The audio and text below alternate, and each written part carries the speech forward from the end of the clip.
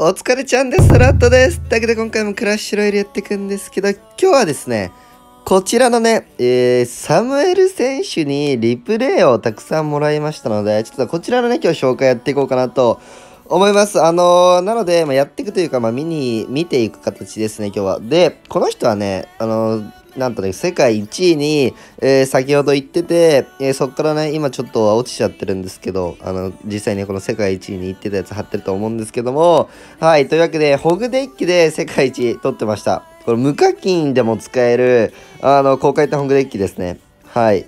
というわけで、これリプレイを大量にいただけたので紹介していきます。過去にもね、このサムエル選手からの、まあ、リプレイ動画を出したことがあるんですけど、あの、2回かな ?2 回出して、高回転のジャイマジアチャディガーデッキと、あとはなんか20勝チャレンジを2.0ウォールブレーカーで20勝無敗でクリアしたのかな？はい、そういうような、まあ、化け物ですね。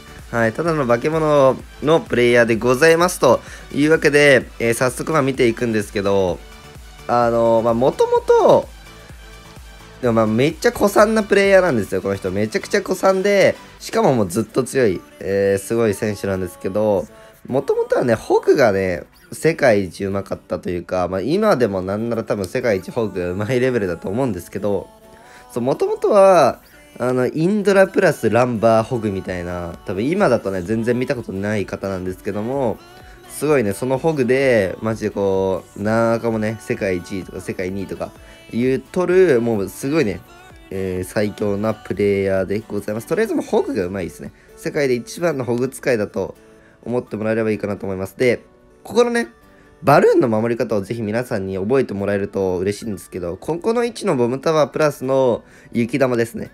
はい。これでバルーンをね、防げるんですよ。あのー、これはね、こう僕も動画内でこうよく言ってるんですけど、ぜひちょっと覚えて帰ってほしい技でございますね。なんて言うんだろうな。多分この後も同じ位置に何回も置くので、ぜひね、はい、覚えてもらいたいんですけど、ちなみに上ですね。はい、皆さん、サムエル選手これ上ですね。リプレイなんで、ちょっと上と下がね、逆なのは申し訳ないんですけど、今回、えー、注目してほしいのは上側のね、はい、ホグデッキでございます。あの、1個内側ですかね。なんかホグとかは1個、さらにもう1個真ん中に寄せてもあのー、釣れるんですけど、さらに1個内側にね、えー、ボムタワーを寄せての雪玉。これがね、めちゃくちゃバルーンボーイに強いんですよね。逆サイドのタワーからも撃たれるし、みたいな、はい、すごい絶妙な位置がありますので、ぜひね、この位置だけでも、こう、ボムタワー使う人とか覚えておくと、マジでそれだけでね、あの、バルーンに戦えるようになりますね。全然違います。アホみたいに変わります。ユニット1個出さなくて済むようになるんで、まあ、なんなら2個ぐらいね、ユニット出さなくてよくなるんで、ぜひね、覚えておいてください。なんで今回も言ったらボムと雪玉しかないんですね。バルーン守るのも。ボム雪玉、アーチ上がりますけど、まあ、アーチはなんか5でね、抑えられますし、さあ、このタイミングのホグです。で、ディガーを拾いつつ、で、スケでインドラを竹取りつつの、さあ、この雪玉ですね。相手もこのね、うまいんですよ。っていうか、まあ、この、今回、多分リプレイマジで世界一行く付近のリプレイなので、あ、間違いなく相手も全部うまいんですよ。だから、あの、ホグ使いの方は、こうね、もちろん、こう、サムエル選手の、こう、リプレイをね、参考にしてもらいつつ、さあ、ここでナイトホグですね。施設がいない、ないターンの、あの、ホグは単体ではなく、まあ、縦プラスですね、まあ、アイゴルホグだったり、ナイトホグすることによって、大ダメージをね、えー、稼ぐチャンスになりますというわけで、めちゃくちゃうまい攻めっすね。めっちゃ攻めるやんっていうぐらい。まこんな感じで、ねボムプラス雪で守れますと。まあ、なので、今回の対戦相手はバルーンなんですけど、ぜひね、まあ、バルーン、このバルーン使う方とか、まあ、普通にバルーン使う方は、ぜひね、このバルーンのプレイヤーですね。あのこの対戦相手のプレイですら、え参考にね、していただきたい。2倍ね、はい、勉強になる、え、感じでございますと。いうけども、あと700とかまでいったら、多分もうクエイクソースね。クエイクだって297削るんで、で、ウッド雪回せると、まあ本当に300は余裕、400ぐらいね、1回で削るので、さあ、ここで、まあ、通らなくても、またクエイクがね、はい、削るというわけで、余裕で勝ちますね。なんか、すごいですね。対空だって見るからに少ないんですけど、まあ、ボム液のね、使い方がね、まあ、マジうまいかなということで、さあ、次はね、コカちゃんでございます。で、今回も、サムエル選手は上側ですね。上側。はい。ぜひ間違えないようにね。多分絶対こう、あ、下見てなかったと。あると思うんですけど。はい。ないです。あの、逆です。はい。というわけでね。はい。2戦目でございます。いや、この僕な、僕も結構使うんですけど、マルチ上位いけるかって言われると、あんまいけないですよね。ぶっちゃけ。で、しかもなんかクエイコグとかって、こう、枯渇とか、まあ、100ゼロやんって感じなんですけど、こう、意外とこういう、この試合とか見ていただければわかるんですけど、なんかそういうわけでもないんですよね。結構いい試合をするので、ぜひ見ていただきたい。さあ、このね、ホグもちょっとうまいですよね。多分、橋上プリン来たら、来るんじゃねっていうのも考慮しつつのホグ説ありますね。枯渇側としては、ゴブリンバレルに、まあ、雪玉とか、で、プリンにウッドとか、で、まあ、クエイクをされると、結局削れ、削られてしまうので、まあ、枯渇側はこう積極的に端前プリンとか、ウッド削り、ロケット削りを、まあ、やりたいと思うんですよね。なので、この序盤の端前プリンは常に警戒しとかないといけないっていうのがホグ側ですね。これ逆に攻めれるんですね、これ。よくわかんないですよね。あ、ロケ対策か。はい、わかりました。今のは、ナイト側にホグをやると、単純にテスラがないターンだったので、ロケでやられてしまう。そう、ナイトホグをロケでやられるともったいないので、ナイトと出して逆サイドにホグを飛ばすことによって、ね、今ロケットともう1枚出さないといけなかったっていう。そこのね、しっかり、こう、テルダークと言いますか、ホグとかバルーンとかは、やっぱりこう、相手の施設があるターン、ないターンの攻めっていうのがすごい大事になってきますね。だから施設あるターンにやっぱどんだけぶっ破しても限られてる。なんか通せるダメージが限られてるっていうところで、ウェルスピがすごい。施設ないターンにやっぱ本気を出すって感じですね。さあ、クエイクを打つが、まあ、ここのテスラをね、突破することはできませんよと。一発入りそうですね。さあ、もう余裕でね、余裕で打っと削っていきます。まあ、ですが、今のとこだと、今の段階だと、意外と枯渇側がね、リードしてるっていう。いや、このね、テスラ、これもう一個下でもいいんですけど、フォグプラスクエイクで、なんかね、クエイクでタワーとテスラを巻き込めないんですよね。そう。なので、結構ね、なんだろう、テスラって厄介なんですよね。クエイク使ってて、僕の中では。さあ。そう、クエイクがね、当たんないんで、ホグプラスクエイク打つものの、ホグはね、通んないんですよ。だから、まあ、クエイク削りみたいな感じですね。さあ、これ一発、いや、入ってしまう。いや、なんなら枯渇側勝ちそう。で、ナイトオーグ来たら、ロケット用にロケットを構えてますね。そうそうそうそう。いや、これを押されると、どうなんだっていうところではある。多分、枯渇側がね、めちゃくちゃうまいの。さあ、で、どう突破するかですよね。まあ、ナイトフォグで、テスラを、まあ、ロケ打ったターンなので、ロケは回ってこないですね。まあ、ですが、いや、テスラ硬すぎこれで、しかもロケ削りが始まってしまうと、今のアーチャーが痛いな。なんなら枯渇がすごい勝ちそうですが、今、ホグ来てたらね、あの、ホグが先行してるようなウッドでございますね。まあ、削りつつの。さあ、今回は、ホグを通そうと、クエイクをタワーに入れなかったですね、サムエル側は。でこれ、ロケ打たれるんじゃないかな。さあ、ロケ打たれる。あ、まあ、ロケ打ったから、いや、ここのね。いや、ここの詰め方が、あ、テスラが、おホグが、今見ました？ナイトの、あれ？やばばっか入る、ばっか入る。ばっか入る。よくないですか？今？なんかナイトホグして、ホグがナイトの外を回っちゃってましたよね。なので、テスラを真ん中に置いたら、あのー、多分、テスラに釣られなかったので、ああいう位置に置くしかなかったんですけど、やっぱこう、ナイトプラスのホグっていうのが大事になってきますね。マジで。そう、縦ホグが、やっぱ施設に対して、施設ない時に対しても、すごいこう、なんて言うんですかね。ダメージを大きく通すチャンスになると言いますか。その辺ちょっと皆さんね、ホグをただ飛ばすんではなくて、施設プラスホグをね、しっかり飛ばすように、あ施設じゃね、ユニットプラス縦プラスですね、ホグをしっかり飛ばすようにするといいかもですね。さあ、今回対戦相手は、モールテンでございます。はい。まあ、この選手はね、皆さんよく知ってると思うんですけど、まあ、知らない方に説明しますと、まあ、簡単に言いますと、世界で一番ウォールブレーカーが上手いプレイヤーでございます。はい。なので、ここは今、世界一のホグ使い VS、世界一のウォールブレーカー のような対決ですね。まあ、僕としてはこれ圧倒的にホグが相性がいいと思うんですけどね。だって雪玉でコウモリ、ボムタワーとかでウォールブレーカー、まあ、ウッドもあって、クエイクで削れる。さすがにこれホグの方が相性がいいんですけど、ちょっとぜひね、見たいですよね。さあ、ここのアーチャーをディガーで処理するとこさえも延命していく。さあ、で、ホグを飛ばして、まあ、クエイクとかなのかな。まあ、ここがクエイク打ったやつも右側を多分削ろうってなってるから、今のホグは、まあ、なんか飾りというか、カード回しのホグなんですかね。まあ、そんな気がしますよね。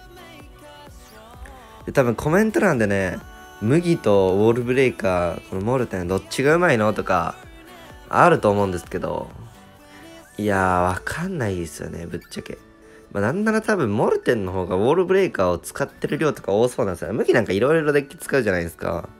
まあ、なので、ウォールブレイカーうまいのって言われたら多分、モルテンな気がするんですけど、まあ、そんなこと言ってると麦に、僕の方がうまいっすよってこう 言われちゃうんでね。はい、モルテン、余裕っすよ、みたいな。この前勝ちましたし、とか言われるんですけど、まあ、その領域ですね、本当に鬼うまい。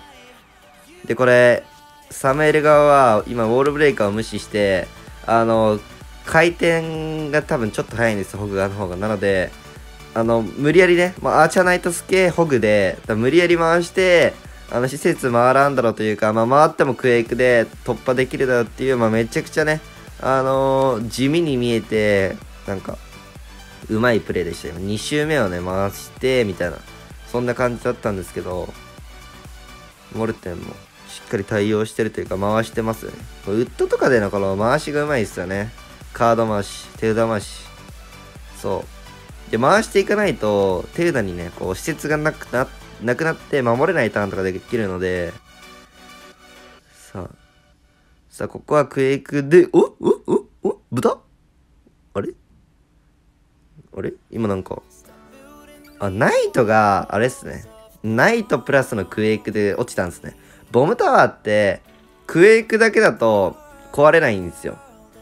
そう。だから、みんなこう、クエイクプラスの雪玉を打ったり、クエイクプラスのウッドを打ったりするんですけど、さっきね、クエイクプラス、ナイタが多分一発殴って、あの、豚がな、おラッキーって感じで、タワーに行っちゃったっていうので、あの、めちゃくちゃね、大ダメージに繋がったと。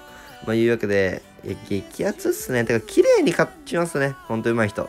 さあ、で、この、ペインのウォレスって読むのかな？ちょっとそこ疑惑なんですけど、さあ、今回上側ですね、サメールは。あの、この人は、この前あったんですけど、ノーティルトワールド。ノーティルトっていう個人の大会？個人の大会っていうか違うかな？オールスター大会かな？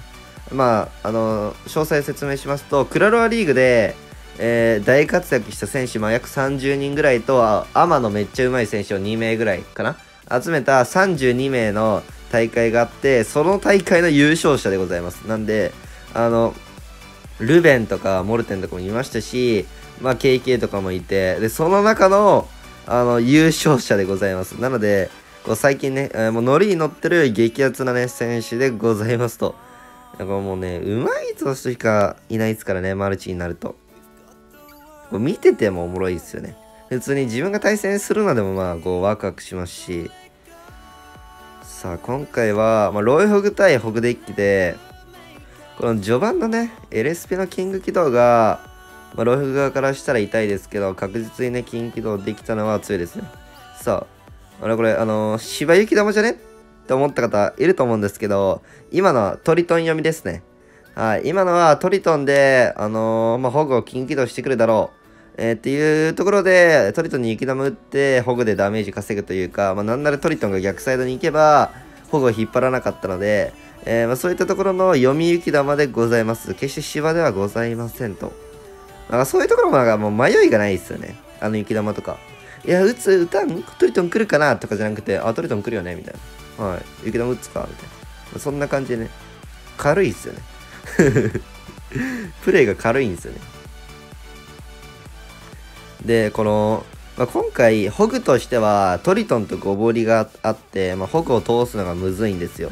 だからまあどんな感じでホグを通していくのか、で、ローフグ側としては、あの、ボムタワーがあるので、まあ、ローフグクエイクやるけど、ボムタワーはきついよねっていうところで、まあ、お互い結構ダメージが通りにくい戦いなので、まあ、この、なんていうんですか、やっぱクエイク削りがすごい大事になってきますよねっていうような試合ですね、お互い。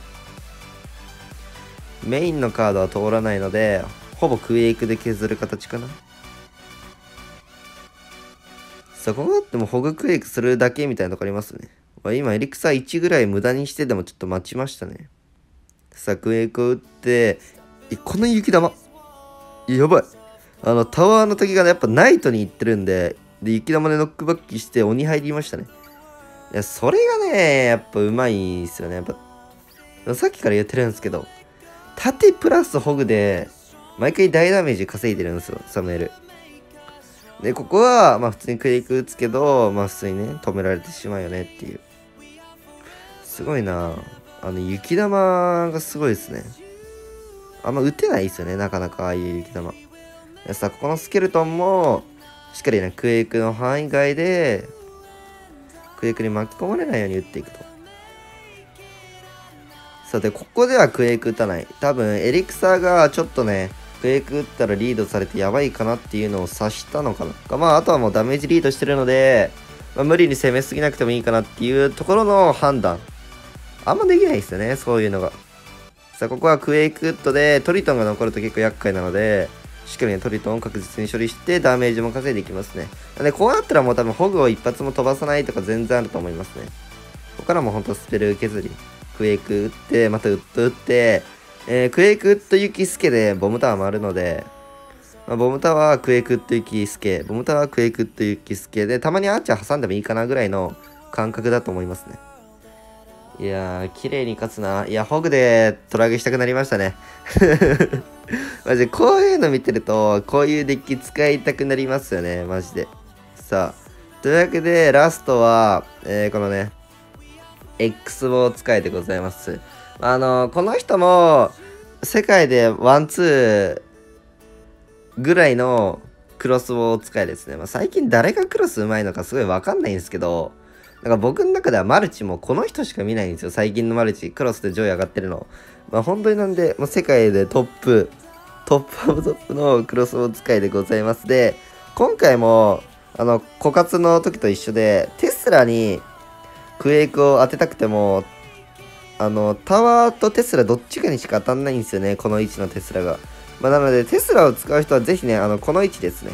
に、テスラを置くようにすると、こう、クエイクデッキとかにも今まで勝てなくても勝てるようになるんじゃないかなと思います。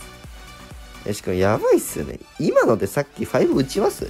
いや、このね、ナイトボムタワーのタイヤも速いですね。やばくないですか？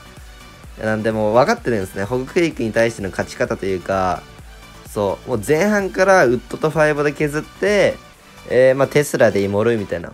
そこに置いとけばタワーとは巻き込まれないし、みたいな、もう立ち回りがあるんですね、上位の。なんで、こう、僕らからしたら、絶対的にもう相性決まってるとか思うんですけど、上位になると意外となんかね、すごい立ち回りがあるんですよ。だってこう見ると、確かに保護クエイクきつそうだなって。だってクエイク、5削りされて、クエイク打ったら打ったらセミクロスで、それを突破されると終わるみたいな。ね。いや、意外となんでね、上位陣の戦い面白いっすよね。